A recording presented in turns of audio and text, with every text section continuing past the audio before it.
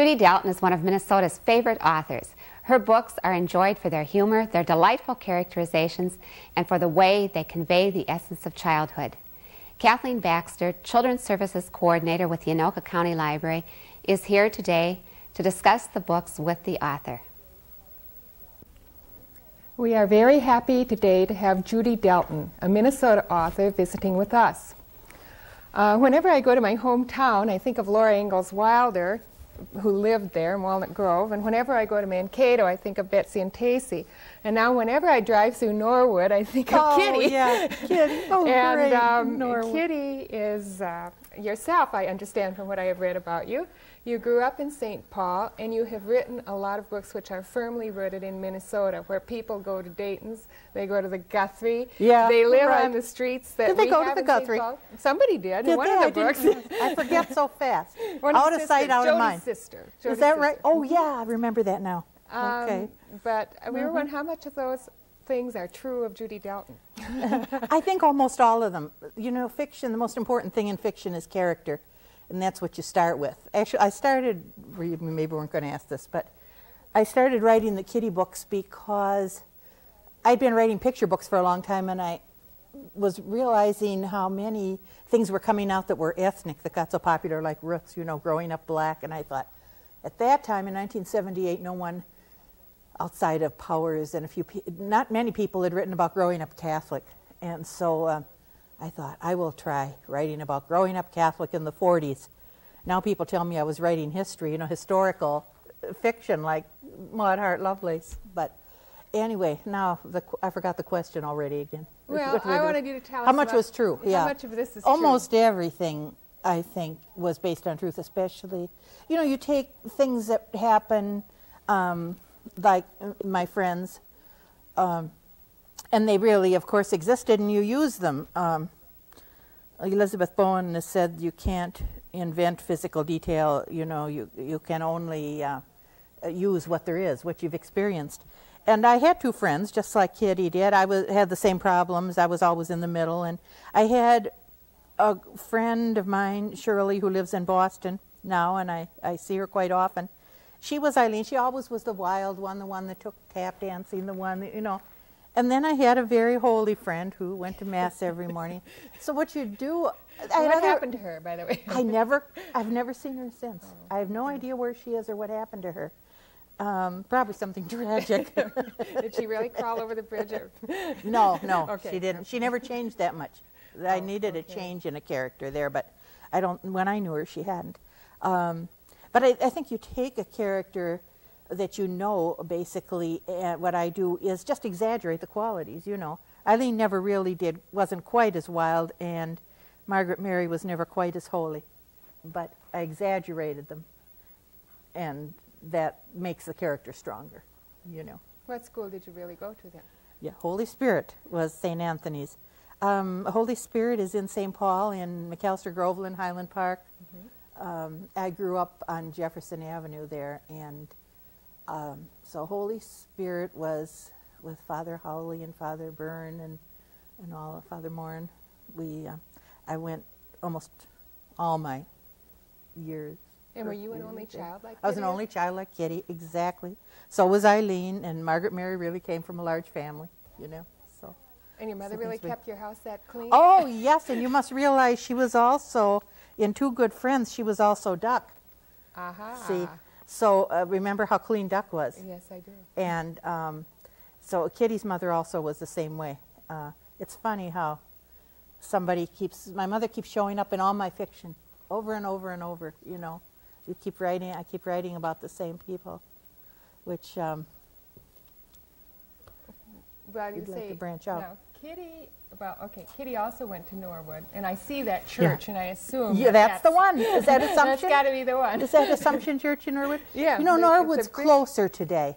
Um, when I was little and we would drive in my aunt's 1930s Chevrolet, it would take forever to get to Norwood, go through the cemetery out there, and and it was the country. It was there was no not much of a town, and my dad had grown up on a farm in Norwood, and so uh, so I thought, well, I'll use it. Uh, that's one thing that's a kind of a perk of being a writer, is to save all the things you like or kind of capture your history and put it down for a long time. Well, you know, neat for the rest of us too. That's nice. One thing that I couldn't believe hardly when I read it in the book was about the slot machines. Oh yeah, there were on the slot machines all over, and in butcher shops, and you know, all the time. Yeah. Did you really win a lot of money? I don't remember that. no, I don't remember that. Those little things were a little exaggerated, but I think basically the truth of it is mostly the facts. I really got homesick. Um, my aunt worked with these German, this German family that used to terrify me. They couldn't speak English, and we were sure they were Nazis then during the war. And my aunt would speak German to them, and I was stuck out there on that farm, and I was so homesick, the real meaning of homesick, you know. And I ran away. And I ran back to town, and uh, of course, Katie came back and called my mother, and they came and got me, and it was humiliating. But, uh, um, but so many of those things are based on the truth uh, about a, such a different life than it is now, you know. Makes you feel really old and removed from it. Well, another of your popular characters is um, Angel. Yeah. And Backyard Angel is the first one. Angel, excuse me. Who is she? is she you too? answer your questions before. Did you have a question? You already guessed. um, Angel was my daughter. We lived in Tomah, Wisconsin, and I started writing this because my editor at Houghton, uh, who so graciously bought the kitty books and loved them and encouraged me, uh, said we'd love another series with another character, a contemporary character. And I said, "Oh, I can't write that kind of thing." And you know, you sit there and you brood and you think, "What would I write about?" And I thought, well, I wrote about my own life. I may as well branch out and steal my children's life. And uh, I used to look out in the back steps, and Jennifer was always sitting back there, and she was always pouting. She, as it says in the Angel book, she cried from you know from the time she was born to she was. I don't think she smiled till she was eight, and um, so that's what you need as a character, a strong character, and that's all I had when I started the, series, was Jennifer on the back porch, um, pouting. what you know. about Rags? I just love Rags. Well- I'm mad for him. J- Isn't he cute? Yes. Did- you read Angel's Mother's Wedding. Yeah. Oh, I just about I just finished Yeah. it yesterday, and I nice. just loved it. I'm working on Angel's Mother's Baby now. Did you? There's an episode in Angel's Mother's Wedding where Rags is to be the ring bearer for the wedding, and he thinks it's the ring bearer. He's he thinks he's going to wear a bear suit and carry the rings, and he is rehearsing to be a bear and to growl as he goes down the aisle. And um, I just thought That that, was a funny thing. delightful. you know, a lot of, th- yeah, how did I How did you think of that? That's right, Kathleen. Answer, answer your- I answer them and then I tell you what you asked. Um, that was a direct, you know, so many people will say, I've got something for you to write about. I've got something for you to write about. And usually none of it ever works. But she, my editor, wonderful editor at Houghton, had said, you know, I was to a wedding and this this little boy that was going to be ring bear thought he was going to be a bear and wear a bear suit. I said, that's a riot. I'll use it. What does half mean? It was half hour.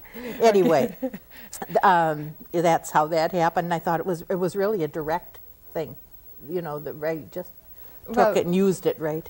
It as was just a great. The whole episode of the wedding was wonderful. Rudy in his clown suit, half clown suit. The angel's mother wearing an identical dress with the maid of honor. I loved it. I just loved it. I don't know. That is so nice. And Angel's mother's boyfriend, remember the green ham? yes. that happened to a friend of mine, and my friend came over and said we had a terrible Thanksgiving. My, we went to church and came home, and my mother was cooking a turkey. We opened the oven, and the turkey was purple. and I said, "My God, that sounds like something I can use."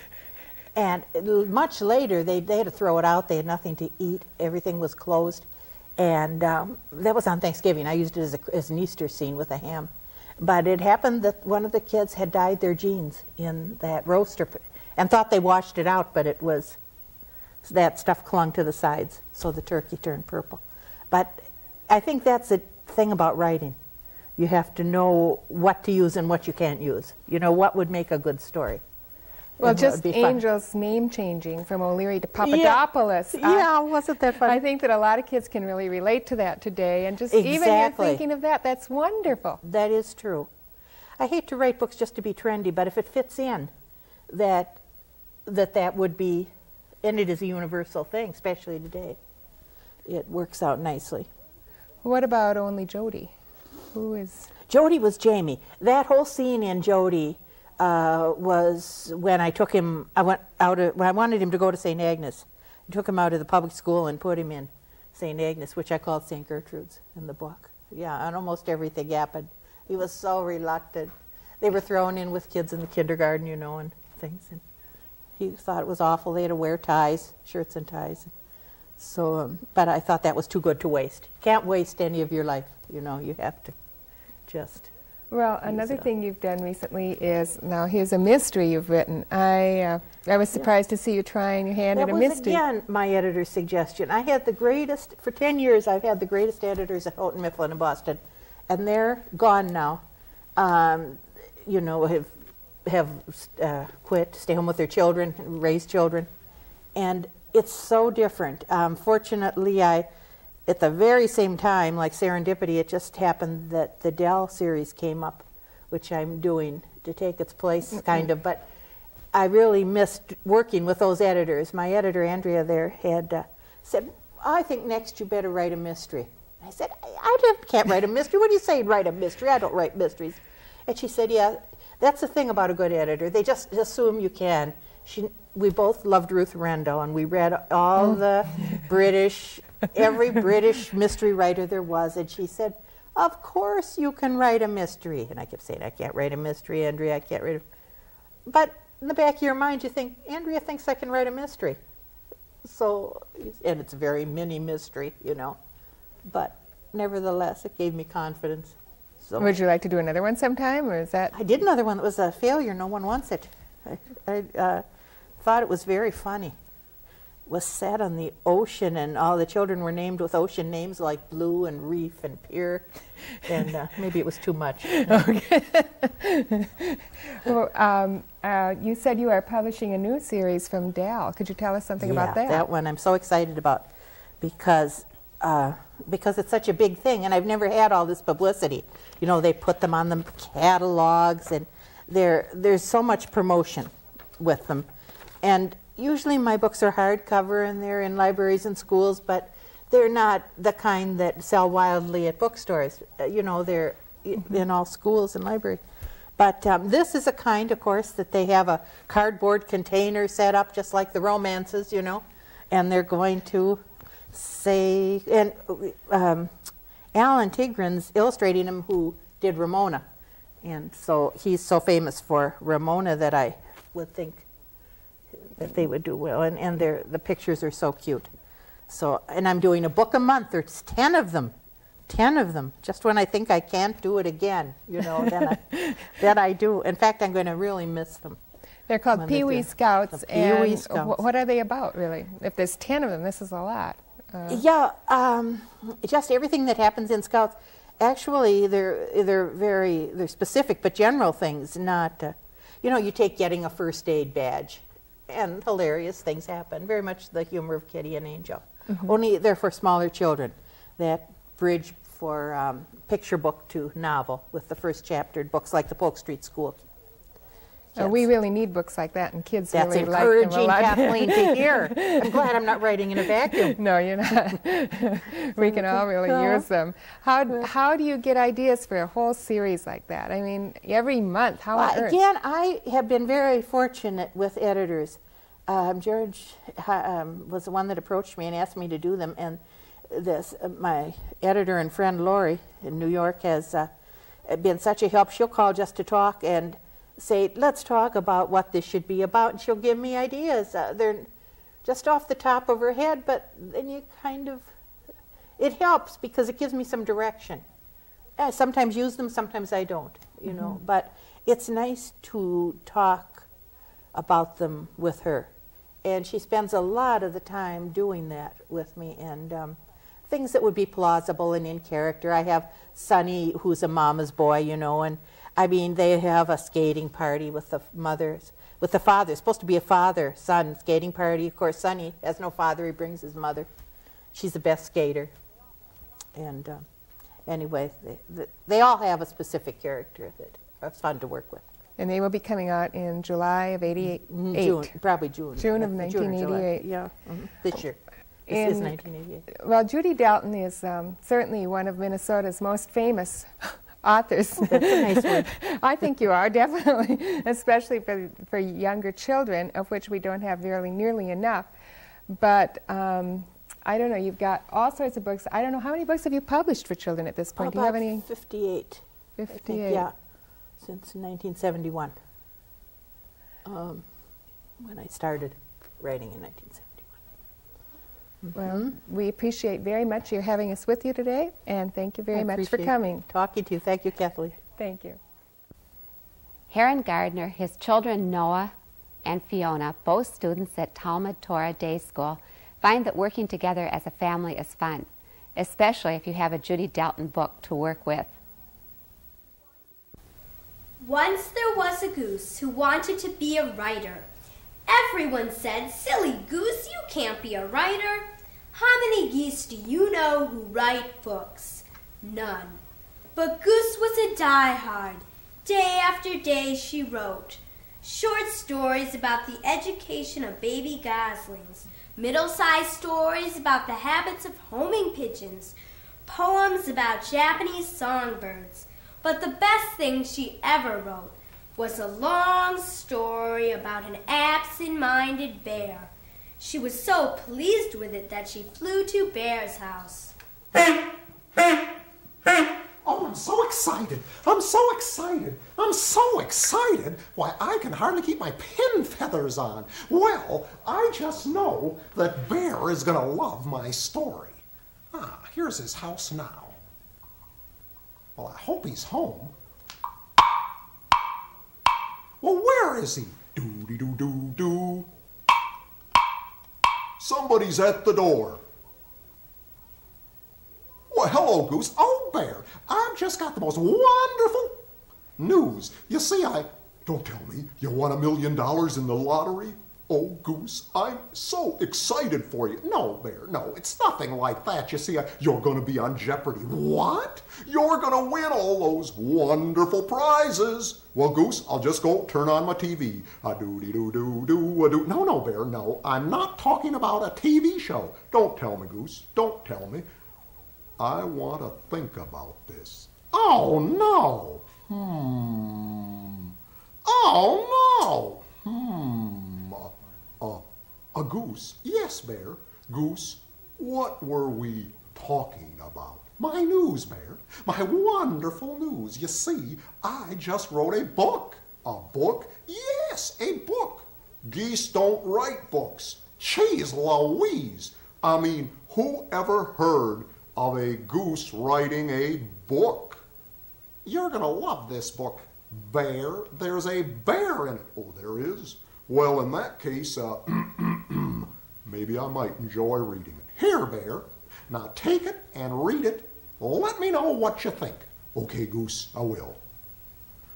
Now, let's see. Uh, uh, Bear went out and oh, the suspense is killing me.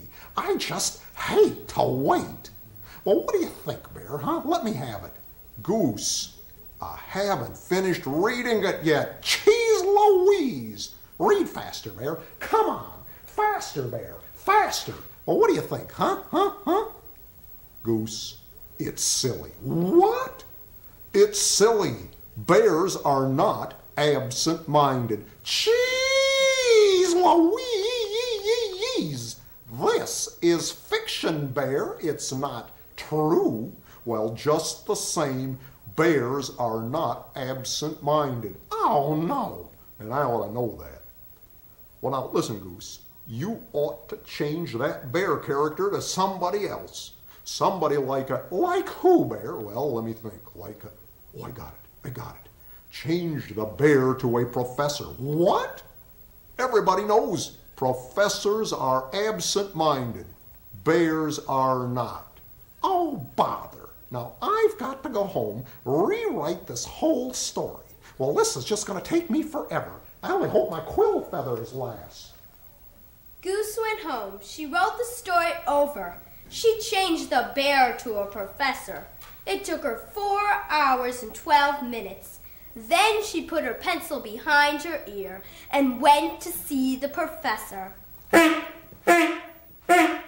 I've worked so hard. I certainly hope that the professor likes my story. But you know, he can be very, very critical. Ah, here's his house.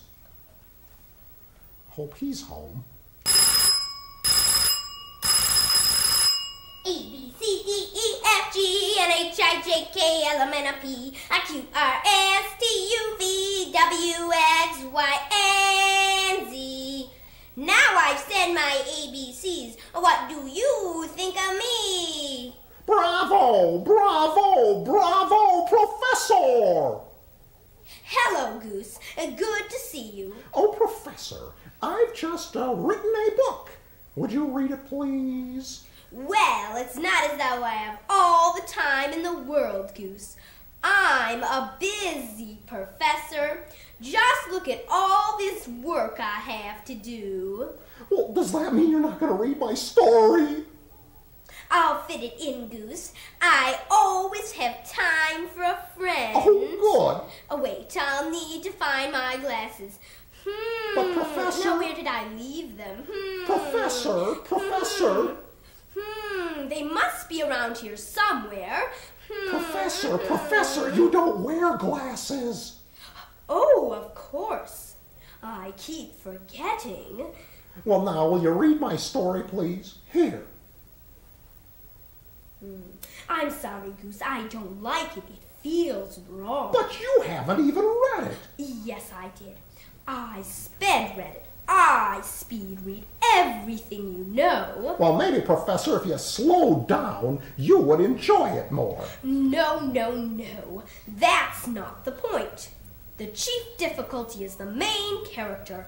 He's terribly flawed. He's what?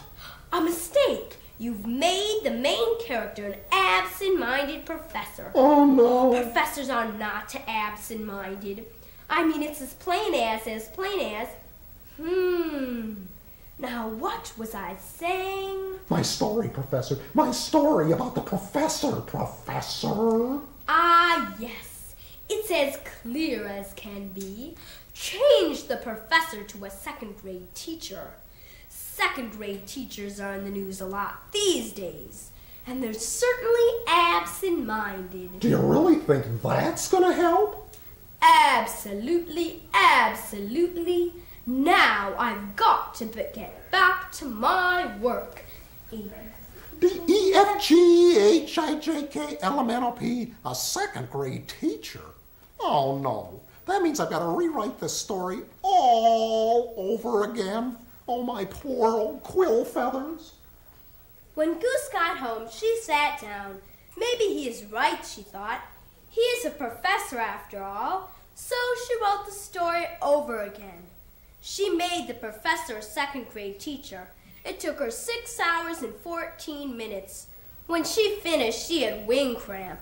This is the last time, she said. I'm not showing this story to another friend. No one will see it until it is a book. Goose typed the new story carefully. Then she put it in an envelope. She put a stamp on it. She wrote Rush in red letters on the back. She wrote the name of the book company on the front. Then she went out to mail it. Now let's see. There's got to be a mailbox around here somewhere. Hmm. Ah, yes. Oh, there it is. First class, special delivery, Panda Press. Here comes your big chance. Well, gee, now all I can do is go home and wait. Wait, wait, wait. Geez Louise, but I hate to wait.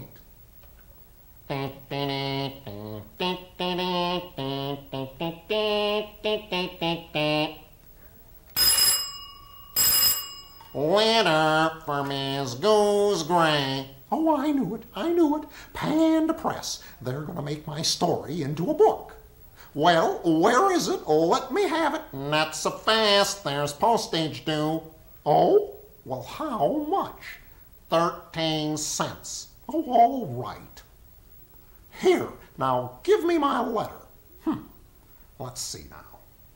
Dear Goose, that's me.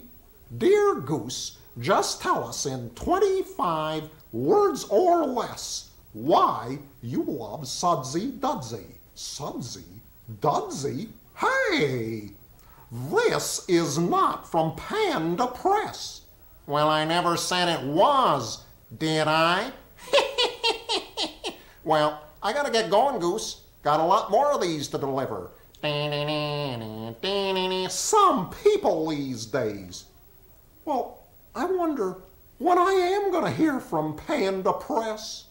Wait, wait, wait. That's all I ever seem to do is wait. The next day, the postman handed Goose a card. It said, Give blood for sick geese, 4 p.m. Tuesday, City Hall. On the following day, he brought Goose a copy of Tay magazine. Each day, Goose waited for him, but he never brought her a letter from Panda Press. Finally, Goose became very discouraged. Oh, oh, it's no use. It's no use. Panda Press is never going to publish my story. I'm just a silly old goose after all.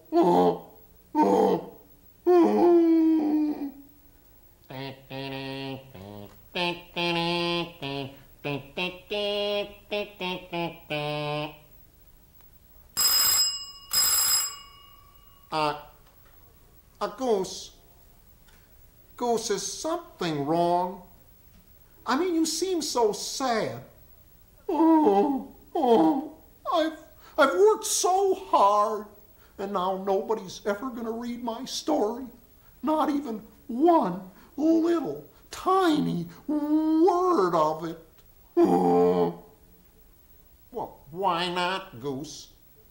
Because Panda Press isn't going to publish my story. That's why. Now get out of here and let me suffer in peace. Well, before I go, Goose, would you mind signing for this letter? Oh, all right. Well, what is it? Not that I really care. Special delivery letter from Panda Press. What? Oh, oh, oh, give it to me. Give it to me. Oh, I, I don't know if I even dare open this. Oh, oh, here, you read it. I got a bad case of wing flutter. Okay, Goose. Dear Goose, we will be happy to make your story into a book, but it must be about a absent-minded bear instead of a second grade teacher signed Panda Press. Well, can you beat that? They liked my first story the best. Bravo, bravo, Goose. Why, thank you. Bravo. Goose went into her house. She took the first story about the absent-minded bear out of her desk drawer. I always did like this story the best, she said. Then she took out a red pen. She turned to the last page of her story. In big red letters at the bottom of the page, she wrote, The End. Thanks to Judy Delton, Heron, Fiona, and Noah Gardner, and all of you for joining us for All About Kids.